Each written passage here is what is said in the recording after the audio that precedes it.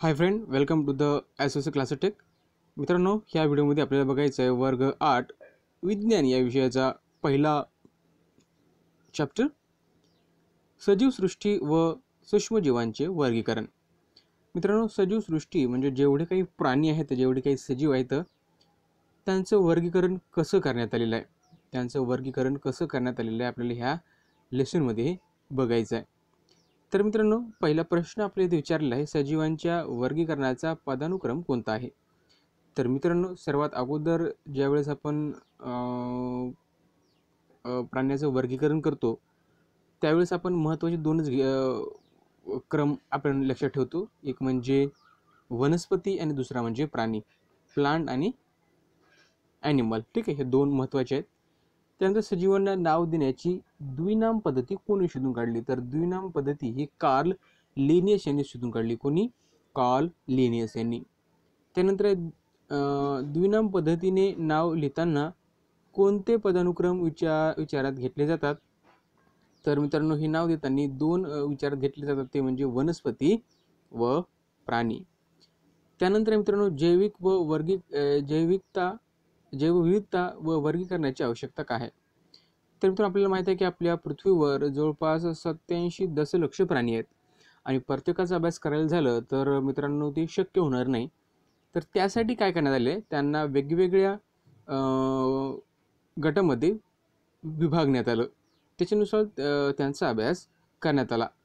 तर मित्रांनो सर्वात अगोदर म्हणजे यांचं जे विभागणी केली होती किंवा गटात केलं होतं ते केलं होतं रॉबर्ट हार्डिंग विटाकर यांनी यांचा जन्म एकोणीसशे वीस ते एकोणीसशे ऐंशीमध्ये त्यांचा मृत्यू झाला. हे अमेरिकी परिस्थिती परिस्थितिकी तज्ज्ञ होते. त्यानंतर त्यांनी काय केलं की एकोणीसशे एकोणसत्तरमध्ये एकोणीसशे एकोणसत्तरमध्ये सजीवांना पाच गटामध्ये विभागलं. किती गटामध्ये? पाच. पण ते अगोदरसुद्धा काही होऊन गेलेत आहेत. ठीक आहे. त्यांनी काय केलं आपण हे थोडक्यात बघूया.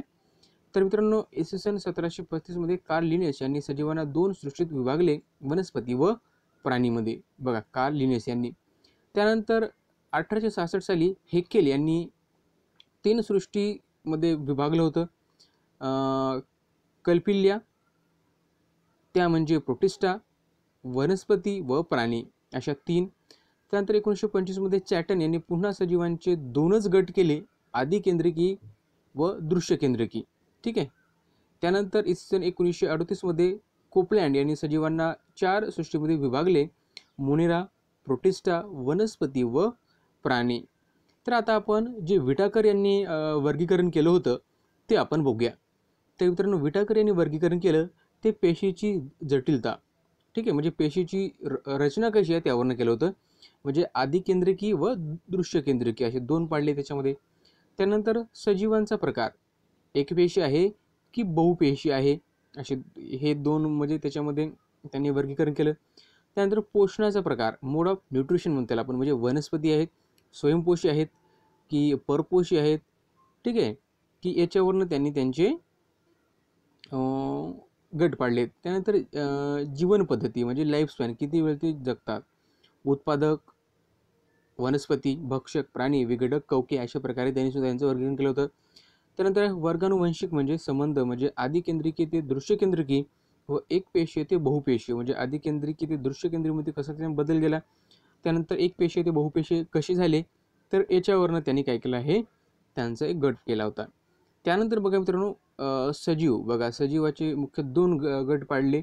एक होता आदिकेंद्रिकीय व दुसरा होता दृश्यकेंद्रिकी आता आदिकेंद्रिकीमध्ये फक्त एक पेशीच प्राणी येतात ध्यानात ठेवा. आदिकेंद्रिकेमध्ये काय येतात? फक्त एक पेशीच प्राणी येतात आणि ते एक पेशीमध्ये आहे मोनेरा. काय आहे? मोनेरा. दृश्य केंद्रकी दृश्य केंद्रकीमध्ये एक पेशीय पण आहेत आणि बहुपेशीय पण आहेत. दोन्ही आहेत. आणि एक पेशीमध्ये येतो प्रोटिस्टा. ठीक आहे? मोनेरा येतो आदिकेंद्रिकीमध्ये आणि प्रोटिस्टा येतो दृश्य केंद्रिकेमध्ये नंतर बहुपेशी बहुपेशीमध्ये प्राणी येतात. वनस्पती येतात आणि कवके येतात. तर हे त्यांचं वर्गीकरण झालं. त्यानंतर आता आपण बघूया मोनेरा. मोनेरा म्हणजे काय? एका स्वच्छ काचपट्टीवर दही किंवा ताकाचा अगदी लहान थेंब घ्या. त्यात थोडे पाणी मिसळून विरलन करा. त्याला अलगत आच्छादन काच ठेवा. सूक्ष्मदर्शिकाखाली काचपट्टीचे निरीक्षण करा. तुम्हाला काय दिसेल?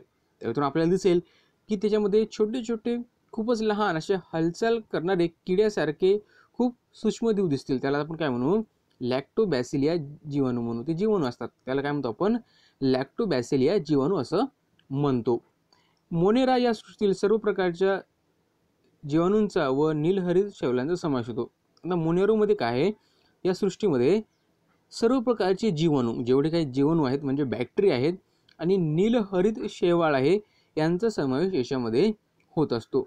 जसं की इथं आपल्याला मोनिरा सृष्टीतील विविध सजीव इथे दिलेले आहेत. ठीक आहे? क्लोस्टिडियम बोट्युलिनम त्यानंतर legionella pneumonia salmonella typhi vibrio cholera ठीक आहे? हे सर्व त्यातले आपल्याला जीवाणू दिलेले आहेत. त्यानंतर याची लक्षणं कोणकोणती आहेत? बघा मित्रांनो हे सजीव एकपेशी असतात. अगोदर सांगितलं मोनेरामधले सर्व सजीव कसे असतात? एकपेशी असतात.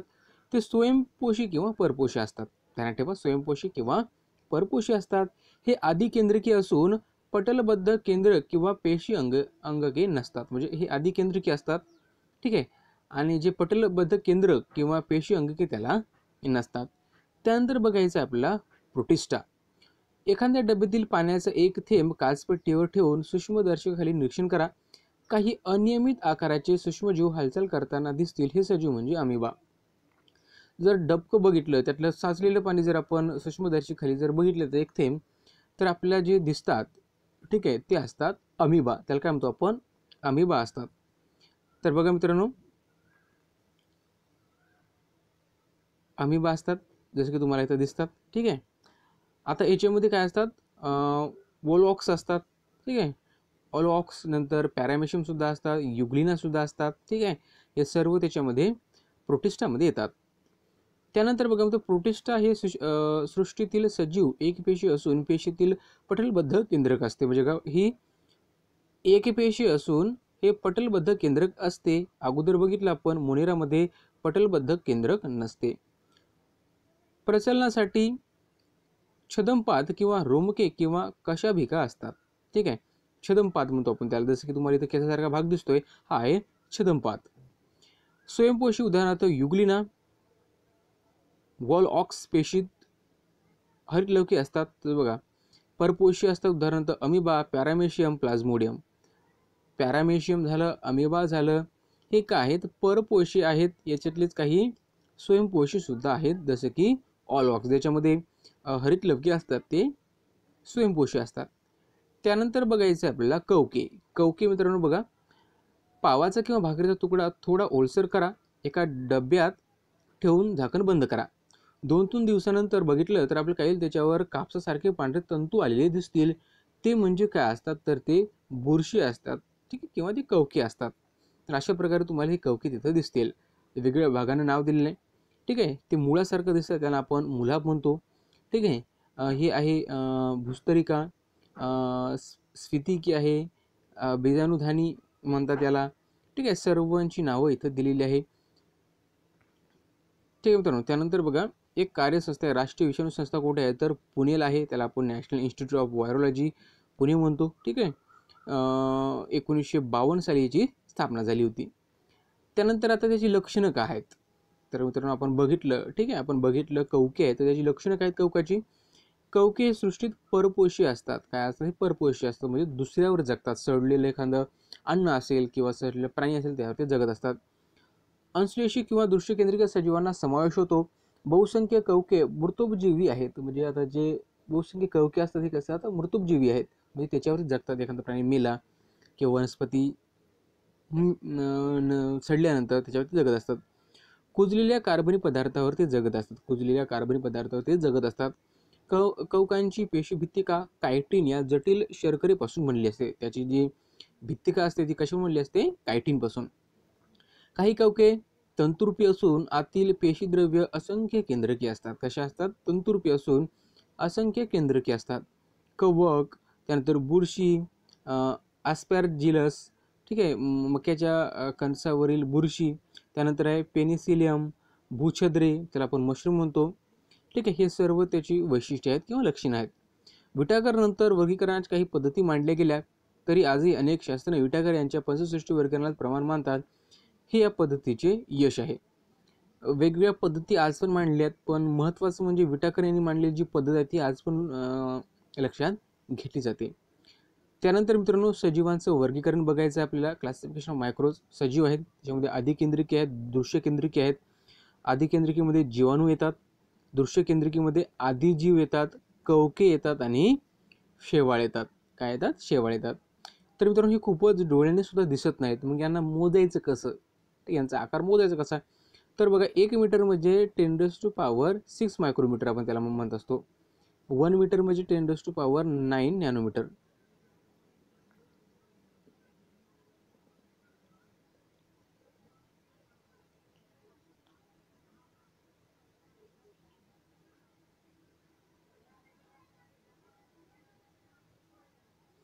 ठीक आहे?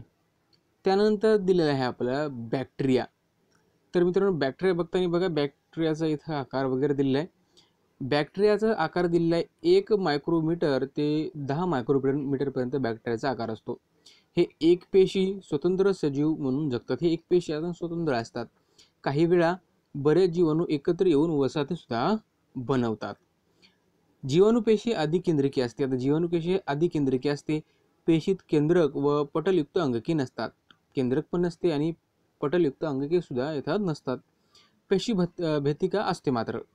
प्रजनन बहुधा द्विखंडनी भवनाने एका पेशीत दोन भाग होऊन केले जाते. म्हणजे एक पेशी असेल जर याचे दोन भाग झाले तर याला म्हणतो आपण द्विखंडनीय भवन. असे दोन सजीव निर्माण होतात. हे अनुकूल परिस्थितीत जीवाणू प्रचंड वेगाने वाढतात. वीस मिनिटामध्ये दुप्पट होतात. म्हणजे परिस्थिती जर अनुकूल असेल तर हे खूपच लवकर वाढतात.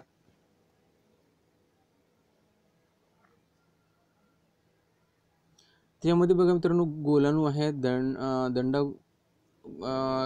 दंडगोलाणू आहेत दंडाणू आहेत स्वल्प विरामकृती आहेत सर्पिलाकार आहेत. हे काही जीवाणू आहेत. यांचा इथं आकार आपल्याला दिले आहे. त्यानंतर आहे आदिजीव. आदिजीव म्हणजे मित्रांनो त्याला आपण प्रोटोझोआ म्हणतो. याचा आकार सुमारे दोनशे मायक्रोमीटर असतो. माती गोडे पाणी समुद्रात आढळ आढळतात. ठीक आहे? काही इतर सजीवांना इतर सजीवांच्या शरीरात सुद्धा आपल्याला हे आढळतात. त्यामुळे रोग उद उद्भवतात. आता हे दृश्य केंद्रकी पेशी आढळणारे एक पेशी सजीव दृश्य केंद्रकी पेशी आढळणारे. दृश्य केंद्रिकी असतात मात्र हे एक पेशी असतात. तर यांचं जे अवयव बघितलं तर यांची पेशी रचना हालचाल व पोषण पद्धती यांच्यामध्ये त्यांना विविधता आपल्याला आढळून येते. प्रजनयाचं द्विखंडी भवन पद्धतीत होते. जसं की आपण अगोदर बघितलं जीवाणूमध्ये होते त्याच प्रकारे. तर बघा अमीब आहे पॅरामिशियम आहे हे गढूळ पाण्यामध्ये आढळतात आणि स्वतंत्र जीवन जगतात. त्यानंतर आहे अँटीबा हिस्टोलिटिका हे अमांश होण्यास कारणीभूत ठरतात. त्यानंतर आहे प्लाझ्मोडियम वायवॅक्स हा मलेरिया होण्यास कारणीभूत ठरतो. युग्लिना हा एक स्वयंपोषी आहे. त्यानंतर मित्रांनो कवके आहे. कवकेचा आकार जर बघितला दहा मायक्रोमीटर ते शंभर मायक्रोमीटर असतो.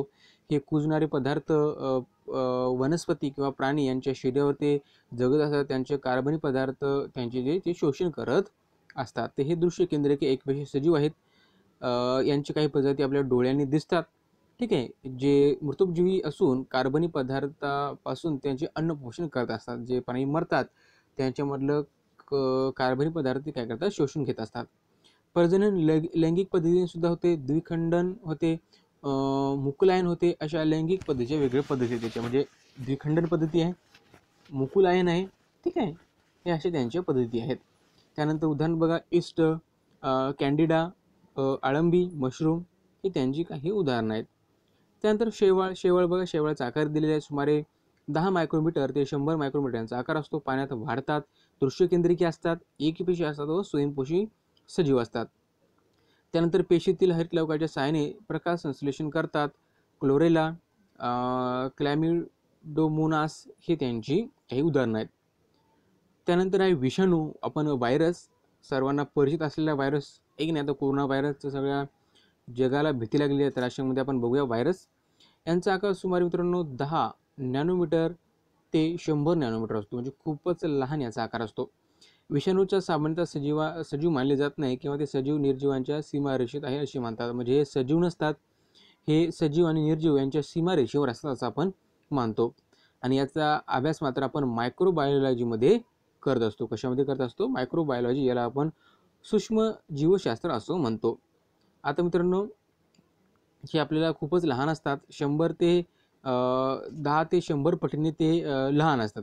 ठीक आहे? जीवाणूपेक्षा आणि मित्रांनो याच्यामध्ये ते कशापासून बनले असतात? तर याच्यामध्ये आपल्याला डी एन ए किंवा आर एन ए पासून ते बनले बनलेले असतात. त्यांची जे जी प्रथिने असतात त्यापासून ते बनली असतात D N A R N एपासून ठीक आहे हे वेगवेगळ्या कारके असतात म्हणजे वेगवेगळे रोग निर्माण होण्यासाठी वनस्पतीमध्ये किंवा प्राण्यामध्ये हे महत्त्वाची भूमिका बजावतात. विषाणूमुळे वनस्पती व प्राण्यांना विविध रोग होतात. त्यांच्यामुळे विविध रोग व हे होतं जसं की आपण बघतो प्राण्यांनासुद्धा रोग होतात व वनस्पतींनासुद्धा रोग होतात. टोमॅटोला विल्ट विषाणूमुळे रोग होतो. त्यानंतर मित्रांनो मानव बघा. मानव म्हणजे पोलिओ विषाणू इन्फ्लुएन्झा विषाणू एच आय व्ही एड्स विषाणू इत्यादी होत असतो. पिकोर्ना विषाणू म्हणजे हे गुरांना होत असतो. त्यानंतर वनस्पतींना टोमॅटो होतो त्यांना विल्ट विषाणू तंबाखू मोझाईक विषाणू इत्यादी त्यांना रोग होतो टोमॅ वनस्पतींना.